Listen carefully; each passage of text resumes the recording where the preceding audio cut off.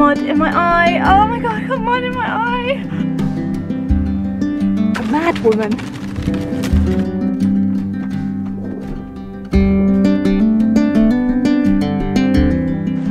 Oh gosh. Well, good morning everyone. Welcome back to my allotment diaries. My name is Emma. These are my allotment diaries. I'd love for you to subscribe to my channel. And thank you so much, first of all, for 20,000 of you.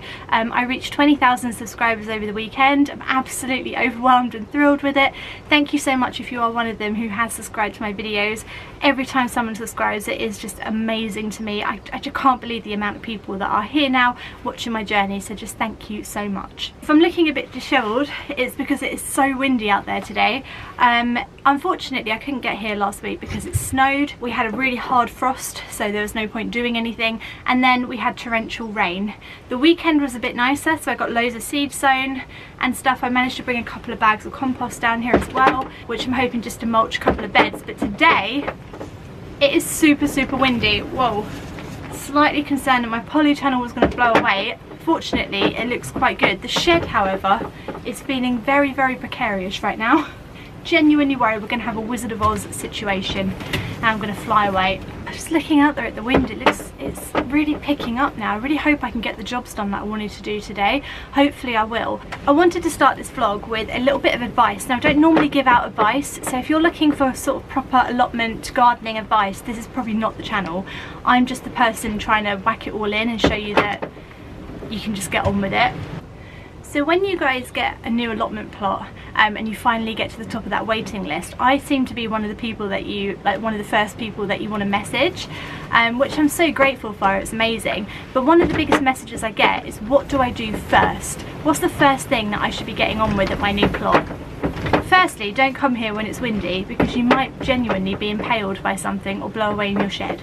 So don't do that. Um, so I want to give you three pieces of advice. The first three things that I would do with a brand new allotment plot. Number one, turn up, bring a planner. You can purchase my planner if you want, or just a piece of paper and a pen and your phone with a camera and go around and just assess your plot and see what's there. What's already growing?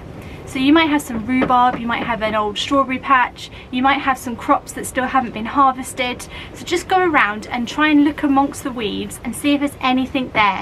Is there raspberry canes? Is there blackberries? Is there something growing? Take a little bit of a, a, stock list of what is actually already growing at your allotment plot. Decide whether you want to keep it or not. So if you hate rhubarb, it might be that you're going to dig all the rhubarb out. But if you love it, then you know that you've got rhubarb on your plot already, so it's something you don't have to buy. The second thing that I would do is start clearing it. So start a compost area or even just make a pile of all the stuff that you pull out. Pull out all the weeds, cut everything back so you might find some old pathways, you might see the raised beds there, you might think, oh actually there is a bit of structure to this plot, it's just become overgrown. And then that's kind of half the work done for you because deciding on the structure of your allotment plot is quite difficult if you're if you have a blank canvas. I mean it's fun and it's doable, I did it, but to have some structure there already is definitely like more ideal. And thirdly, once you started clearing and you've got a couple of raised beds or even just one raised bed that's ready to go, plant some potatoes. Start with your earlies, your mains will be able to go in soon, but just plant some potatoes. A Couple of reasons for this. Firstly, potatoes are a really long growing crop, so you're going to have something growing on your allotment plot almost straight away, right? And they kind of get on with it, so you don't have to really worry about potatoes too much. Um, so that could just be whacked in. And secondly, potatoes are really good for breaking up the soil. So they actually, as they grow, they actually break through the soil and they um, give your soil a better structure. So those are the three things that I would do straight away if I was given a brand new allotment plot today. I would assess and write down what's there, clear everything to see if there's some kind of structure and start making a compost pile and plant in some potatoes. And I hope that helps because I do get a lot of uh, questions about that so hopefully that's given you a little bit of advice. And potatoes is exactly what we're going to do today if we don't get blown away.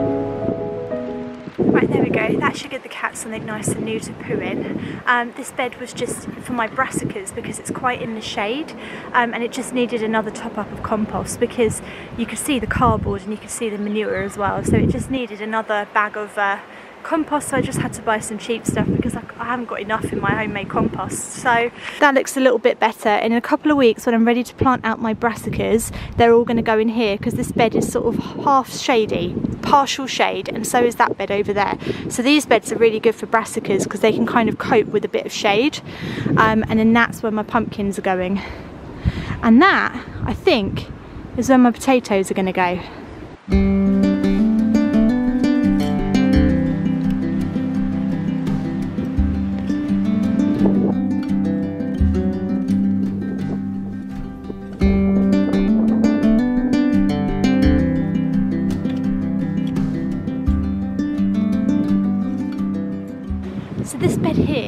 pumpkins in for a few years. This year I've moved my pumpkins because I think you need to move crops about. It's called crop rotation and it means that basically you move your crops about every year so they don't spread disease and bacteria around and also just to try them in a new soil and replenish the soil a little bit. So pumpkins were here, now it's going to be potatoes. I just want to show you the soil. So this is the consistency you're looking for in good quality soil and compost to grow in. So you see I've got it here in my hand. If I squish it together, it just crumbles apart. Look at that, like an apple crumble topping. That's what you want, apple crumble topping. So when you squeeze it together like that, it kind of goes together, but it's very, very easy just to break up again. That is good quality soil. That's really good growing soil and that's because the pumpkins have been there for so long and I've, I've regenerated the soil. I keep, I keep putting new mulch on it and uh, new manure and digging in natural material and all of that natural material um, will just end up with a really good growing material. So just keep whacking stuff on basically, that's what I mean. Just keep whacking anything on that's a natural material but dead, don't put anything living on it, you know, um, just dead stuff. You'll get apple crumble soil, that's what you're looking for, an apple crumble topping. So Right, we're going to whack in the potatoes if we don't blow away.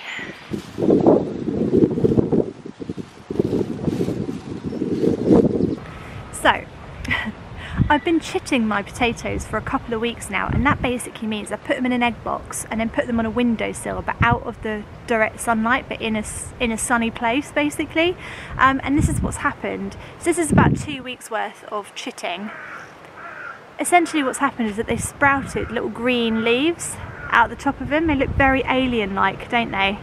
Um, anyway, these, this is the top of the potato. So I used to think this was the roots and I planted them upside down. That would be upside down, right? That's the right way up because you want this green stuff to reach the surface. So that's the way we're going to plant them. That's what we're going to do. Whack them in. We're going to do that and it's so windy I'm probably not going to be able to talk so I'll just show you what I'm doing, alright? had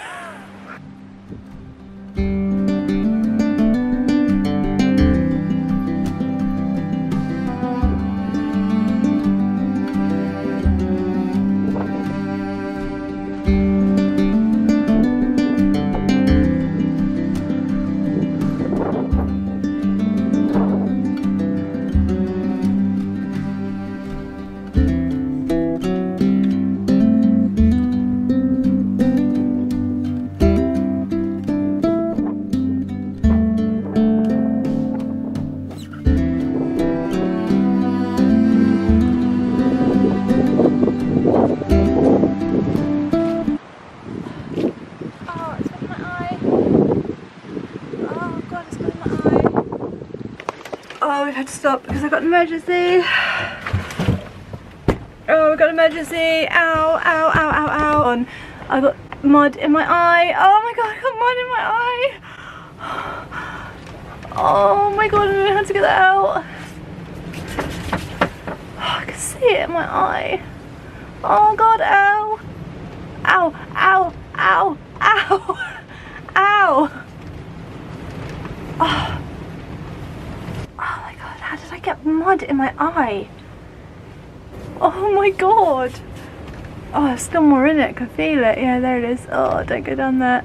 Come on out you come. Ah! How do I get that out my eye? Oh, I got it. I don't know how I did that. Well, there better not be any worm particles in that. I've got worm particles in my eye. I've got worm particles in my eye. Who thought mud would be so dangerous? Oh, there's a crow on my plot now. There's a crow. Back her off. Sorry about that, guys. Oh, sorry about that. Oh my god. I, I must have just flicked mud right into my eye, but the way the way it went up was like I was blinded for a second. All I could see was mud. Like Duncan from Byker Grove all over again. Right, okay, we're just gonna have to carry on like that. right, okay, let's go. What I was trying to do is dig it a little bit longer because I think they need a bit more space between them. I think I've planted them a little bit close together because they're quite big plants. And I think the closer you plant potato plants together, the smaller the potatoes are that you get from them. So you want to space them out a bit to get big potatoes. I think. I don't know. So that's about the spacing that we've done. I tried to leave it about a foot. Um, but that's what we've done.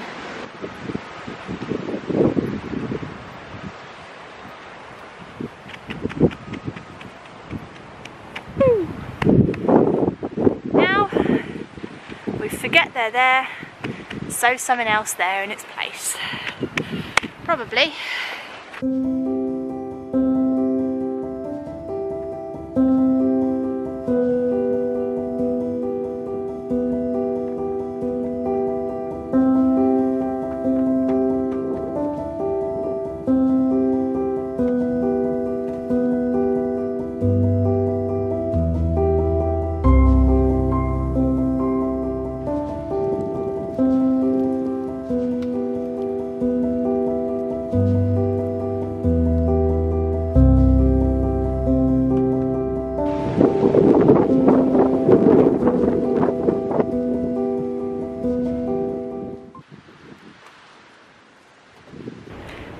Is they're in, they're in the ground, we've done it, we've planted them, it's now up to them to make all of our dreams come true and become potatoes. I was just thinking as I was planting them, isn't it weird how we plant a potato to get more potatoes? Like you just put a potato in the ground and it makes more potato. And it's the same with like garlic and onion. Like like you plant a garlic clove and you get a bulb from it and it's like a potato. You plant a potato you get a whole load of potatoes it's just weird, isn't it? It's just a weird thing. Right, potatoes are in. I'm so relieved we didn't get blown away like the Wizard of Oz. Excellent. I'm glad that I didn't decide to do the pumpkin arch today as well because I was seriously considering doing the pumpkin arch today and I was like, says it's going to be windy. I don't think that's a good idea, Emma. Now, I did bring something else to sow today, which I'm quite excited about because it is March. Guys, it is March, if you hadn't noticed. I know we've had snow, but I am going to put my Californian poppies out. Um, absolutely beautiful, beautiful flower. A lot of people think they're weeds, um, and they are in a way, because as soon as you plant them, they're a bit like nasturtiums. They self-seed everywhere, and they just keep coming up. So I will get some coming up this year anyway, without sowing them. But I'm going to put these around my pond. I also brought this, which is a, a wildflower uh, seed shaking kit. So it's from Wilko's, I think it was about five pounds and it says you can sow it from March to June and it flowers through June to October. Um, and it's a whole mix of different wildlife loving flowers. So I can see some poppies, cornflowers, um, what else can I identify? Not much if I'm honest. Uh, what else we got? Cornflowers, calendulas, marigolds, poppies. Yeah, so loads and loads of like um, pollinating loving flowers. Also going to whack this around my pond as well, so well let's just do it. It'll probably all blow away now, won't it? In the wind. But there we go, what can we do?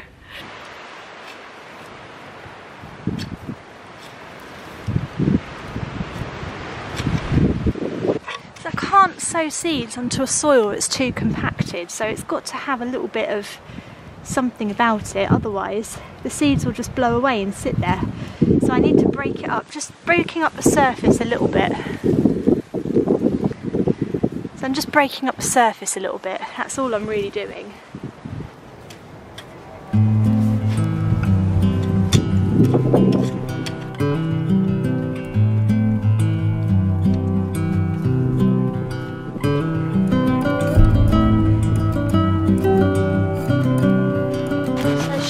well before opening. Seems like the easy bit.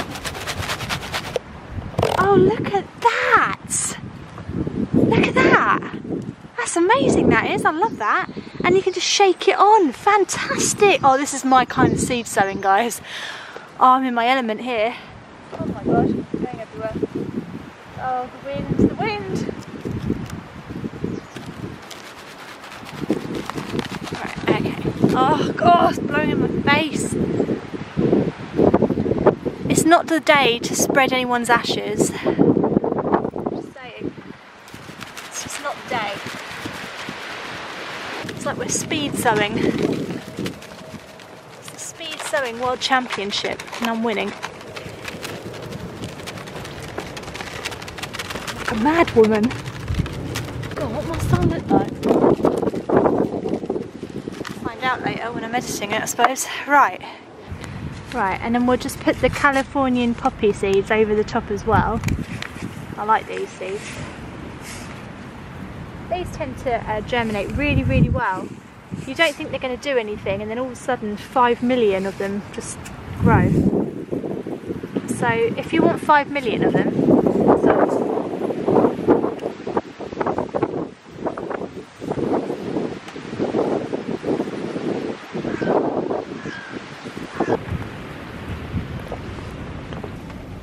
Right, guys. right, I'm aware that today is probably not the best day to sow wildflower seeds or any tiny seed and definitely probably not the right day to sow my potatoes, but we did it. And the thing is, is yeah, okay, the weather's too windy to do this really and I'm battling against the elements more than I need to be really. But if I always waited for the perfect weather conditions, I wouldn't get any gardening done. I live in the UK and it was snowing last week and then today it was windy. Tomorrow it's going to be sunshines and really like warm. So I just can't like I can't you know if I was always waiting for the weather to be perfect I'll probably get about five decent gardening days a year.